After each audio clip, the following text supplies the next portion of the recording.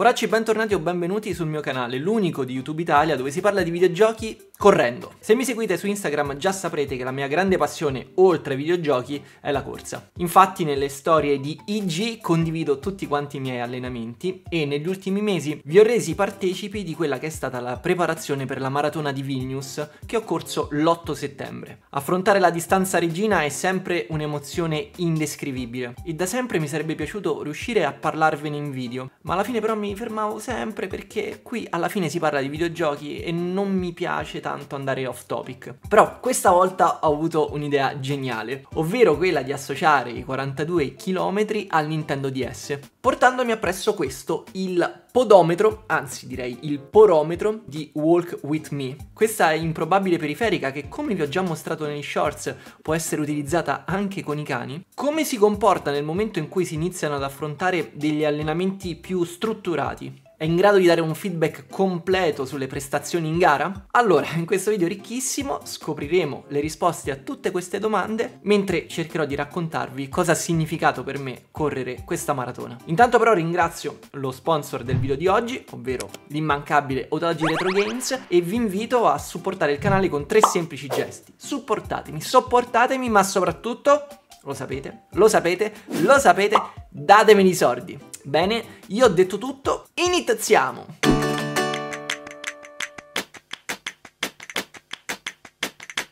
Innanzitutto però una premessa necessaria, non prendete questo racconto come dei consigli dati da un professionista. Se un video del genere vi stimolerà a provare ad allenarvi o magari a mettervi un obiettivo importante e stressante come quello della maratona, io ne sarò felicissimo, ma non essendo un professionista non prendetemi come punto di riferimento. Soprattutto con sforzi così intensivi e usuranti, ognuno dovrebbe calibrare sul proprio fisico e le proprie possibilità gli allenamenti. Quindi nel caso vi venisse la malsana idea di correre una una maratona rivolgetevi comunque a dei preparatori atletici che poi vi indirizzeranno anche verso dei nutrizionisti competenti. Ognuno ha il suo fisico che reagisce in modo diverso e se prendete un impegno del genere fatelo con la massima serietà e consapevolezza perché poi gli infortuni sono sempre dietro l'angolo e vi parlo per esperienza personale. Questa qua non è stata la mia prima maratona ma in realtà la decima che ho corso nell'arco di quasi 10 anni, però mi sono anche fermato appunto per degli infortuni e per prepararla um, seguo una tabella che ormai eh, utilizzo sempre con cui mi trovo molto bene. Sostanzialmente la preparazione è divisa in 12 settimane, ognuna delle quali ha 4 allenamenti al suo interno. Due uscite da circa 50 minuti a ritmo tranquillo, anche se questa volta ho aumentato parecchio il chilometraggio e quindi anche il minutaggio di queste uscite. Poi c'è il giovedì l'allenamento dedicato alle ripetute, che è un allenamento molto molto faticoso e stancante, però super allenante, che va messo per forza all'interno di una preparazione del genere. E poi invece c'è la domenica che è dedicata ai lunghi, ovvero delle distanze che piano piano progressivamente arrivano a toccare quasi l'interezza della maratona. Nel corso delle settimane le uscite di scarico rimangono sostanzialmente identiche, mentre ripetute e lunghi tendono a diventare sempre più impegnative, tranne in alcune settimane di scarico pensate per spezzare l'intensità dell'allenamento. E già in questa fase di preparazione ho iniziato a utilizzare Walk With Me e il suo porometro, quindi vi presento un attimo al volo il software. Cambio inquadratura. Ecco, questa è la confezione di Walk With Me, sicuramente l'avrete vista centinaia di volte, anche perché è una di quelle periferiche che non ha mai acquisito valore, non è mai diventata rara e molto spesso la vendevano, la svendevano nei cestoni a pochi euro. Diciamo che nelle intenzioni era una periferica magari per l'epoca abbastanza interessante, ma che come andremo a vedere ha delle capacità di registrazione molto limitate. Però insomma per il 2008-2009 si trattava di tecnologia alla fine molto più che che è accettabile. Sostanzialmente i podometri sono gli stessi che si trovano con il Pokewalker di, dei remake di seconda generazione di Pokémon, non sono associati ai giochi delle creature tascabili, quanto piuttosto a questa sorta di software uh, diario, software sulla falsa riga di quelli che erano poi i vari Wii Fit, training, eccetera, eccetera, serviva semplicemente a tenere traccia delle tue attività, cioè quanto camminavi durante il giorno e in caso ti diceva se avevi un buon ritmo, se raggiungevi i tuoi obiettivi, eccetera, eccetera.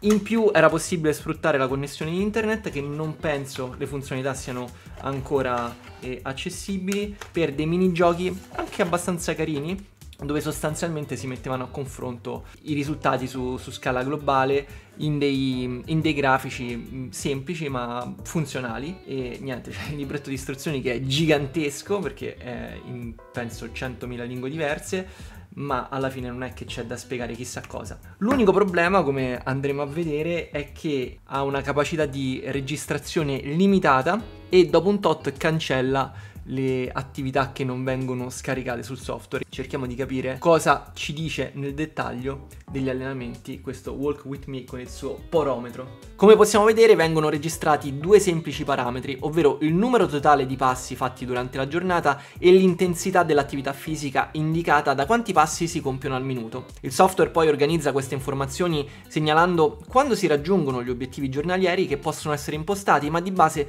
si attestano intorno ai 3000 passi, che credetemi non sono tantissimi. E poi dà anche una valutazione sulle proprie abitudini giornaliere. Io allenandomi di mattina mi sono beccato sempre lo stemma da bradipo mattutino, che poi non ho neanche capito se è un complimento o un insulto. Però vabbè, me lo prendo. Capita subito che quindi ci troviamo di fronte a un simpatico oggettino da gamification. Walk With Me serve a spronare l'utente a mantenere un generico stile di vita sano, associandolo all'immaginario dei Mi su cui Nintendo puntava tanto in quegli anni. Una scusa per uscire fuori di casa e camminare, per poi registrare il tutto e trasformarlo in delle simpatiche classifiche online. Se vogliamo è un po' all'antesignano di Pokémon Go, di sicuro però con molto meno appeal. È ovvio che se cercate uno strumento che tenga traccia dettagliata dei vostri allenamenti e vi fornisca dati e statistiche in grado di darvi una panoramica completa su qual è il vostro stato di salute, ma anche di allenamento. Non potete fare affidamento su sto robo, ma dovete comprarvi dei sistemi GPS molto più costosi. Questi non sono dei contapassi, ma utilizzano dei sistemi satellitari avanzati, poi dipende pure quanto ci investite, eh? e riescono a calcolare con precisione gli spostamenti e sono in grado di fornire statistiche avanzate sul proprio rendimento, sulla salute e in alcuni casi anche di fornire dei consigli su come migliorare le prestazioni.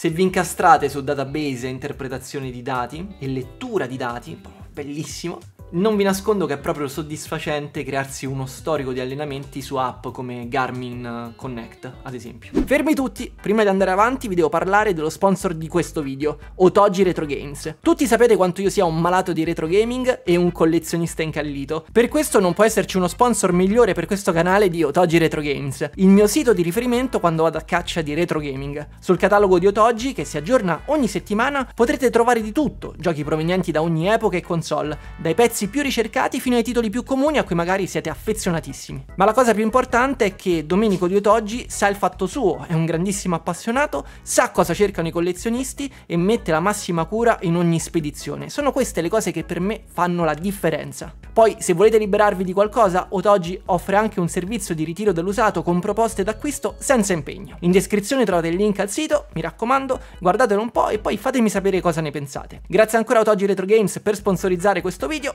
e andiamo avanti. Prima però di scoprire come si è comportato questo affarino, voglio parlarvi della gara stessa. Innanzitutto vi sarete chiesti perché Vilnius? Sostanzialmente perché ormai da anni, per il mio lavoro da freelance che non c'entra niente con il mondo dei videogiochi, collaboro con un'azienda lituana che per questa occasione, per la maratona di Vilnius, ha messo in piedi un running team a cui avrebbero potuto aderire tutti gli impiegati intenzionati a partecipare a questo evento. E io ho colto un po' la palla al balzo utilizzando la maratona come scusa per visitare una città che non avevo mai visto e di cui non sapevo nulla e anche come scusa per conoscere gente con cui lavoro ormai da anni ma che fisicamente non avevo mai visto dal vivo. Quindi non è una maratona importante come quella di New York, non è una maratona partecipata come quella di Roma, ma si è trattato di un evento relativamente piccolo, con circa 1200 partecipanti. Però vi devo dire che eventi del genere molto più raccolti per me hanno il loro fascino. Per esempio, durante la gara difficilmente si creano calche, tappi, imbuti dove si è costretti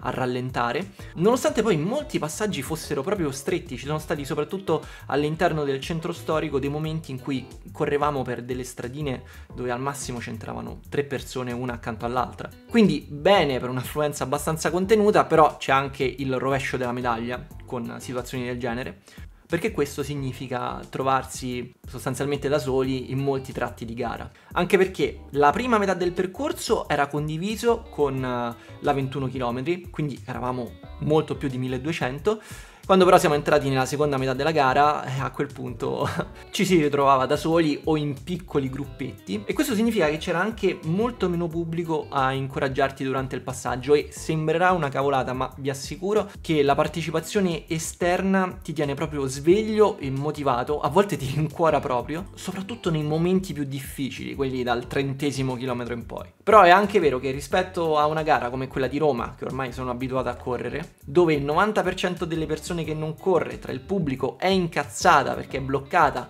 e non può andare a farsi gli affari suoi, a Vilnius tutta la città partecipava mettendoci il cuore, pochi ma buoni. Non chiedetemi perché, ma ho battuto il 5 a diverse mascotte improbabili, tra cui anche Steve di Minecraft. Io gli ho detto dai Steve, ma non penso abbia capito. Poi la 5 km l'ha corsa pure Luigi, ma vi dirò, non mi sembrava in formissima. Poi non so se avete mai corso una maratona, ma almeno per me è sempre una grandissima emozione, ma in realtà si tratta di un sentimento che durante la preparazione e nei minuti prima dell'inizio della gara è proprio stress, stress puro. A me una delle cose che mette più ansia in assoluto è non conoscere il percorso, perché su distanze così impegnative ho bisogno di sapere se ci sono salite, quanto sono impegnative, dove sono posizionate, il tutto per capire come gestire al meglio le energie durante il tragitto. Avevo letto su internet che il percorso doveva essere relativamente piatto ed ero felicissimo perché il mio primo pensiero è stato che bello, finalmente correrò una gara che a differenza di Roma non è un continuo sali e scendi. Mai fidarsi di quello che si legge su internet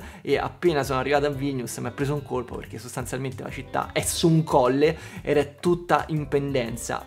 Ma in più, cioè, proprio una cosa assurda.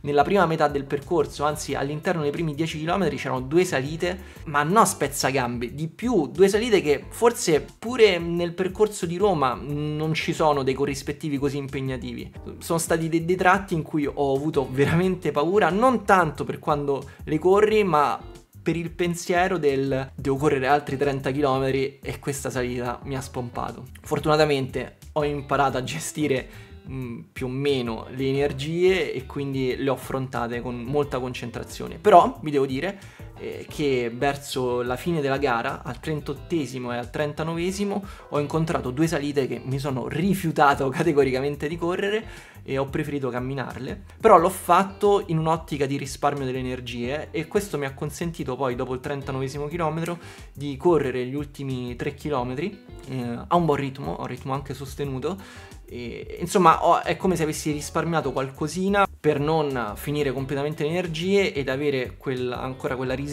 per correre dignitosamente gli ultimi 3 km e arrivare all'arrivo, insomma, in, in positivo. Tanto che poi, come vedremo, il risultato è stato molto buono per i miei standard.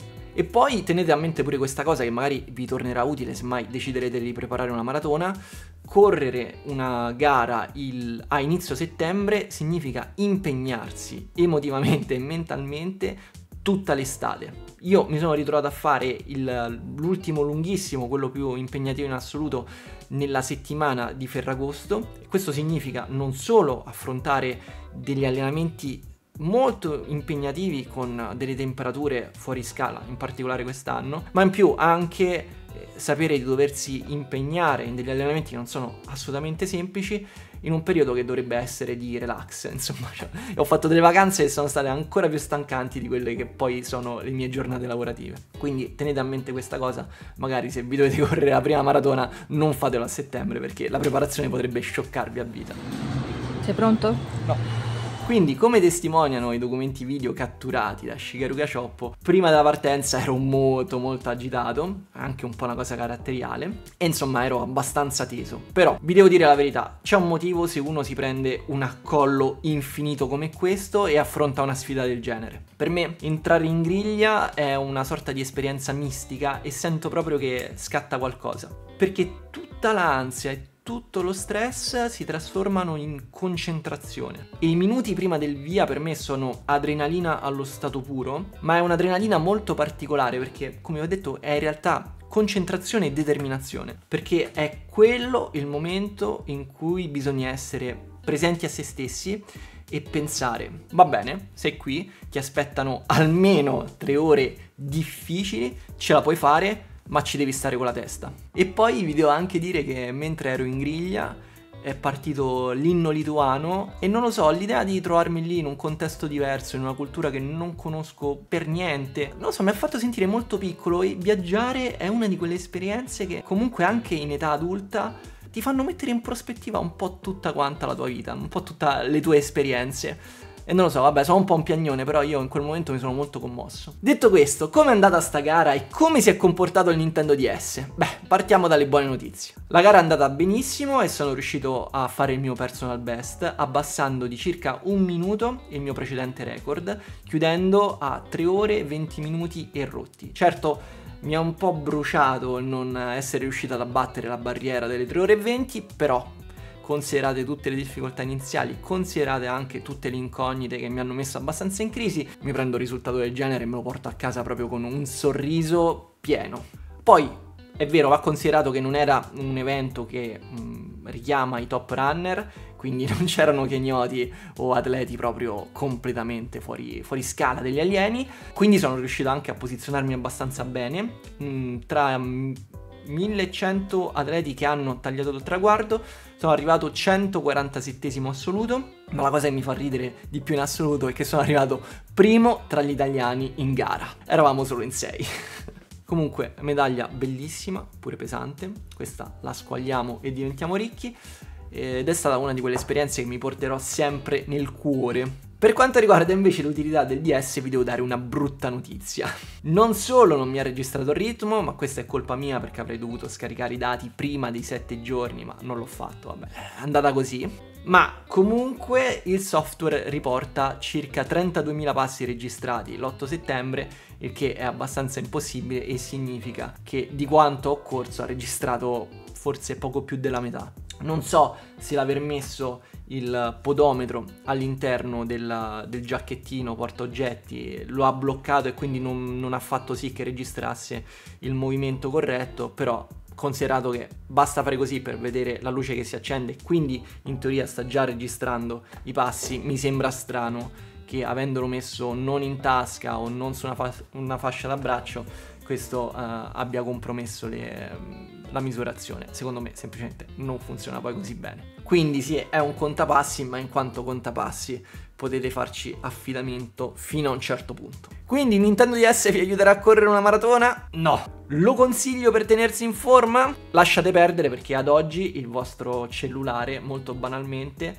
con estrema facilità eh, vi può fornire dati molto più utili e dettagliati rispetto a questo software del 2008 insomma, sono passati pure un po' di anni. Quindi sì, mettere in mezzo il DS è stata solo una grandissima scusa per parlarvi di questa mia avventura. Siete stati clickbaitati un'altra volta, ora mi raccomando scrivete i vostri commenti indignati. Bravi. Grazie a tutti quanti per il supporto, grazie a Shigeru Kachoppo per avermi accompagnato in questa trasferta, per avermi sopportato durante dei mesi non proprio semplicissimi. Mi raccomando, se siete interessati a scoprire di più sui miei allenamenti, c'è Instagram, vi lascio il link in descrizione. Come al solito vi ringrazio per essere arrivati fino in fondo, vi aspetto nei commenti, ma prima del AAA finale vi lascio con la testimonianza più sincera e non filtrata di come mi sono sentito all'arrivo. Perdonate il video in verticale, però questa clip per me vale più di tutto quanto il video editato. Voi comunque statemi bene, ma soprattutto nerdate duro. Ciao!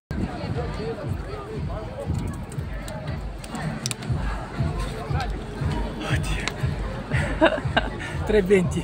320. È bellissima ma difficilissima. La gara più tosta che abbiamo mai fatto, ma veramente emozionante. Molto. Però bellissima, la gente super carina. È stato veramente niente da piangere.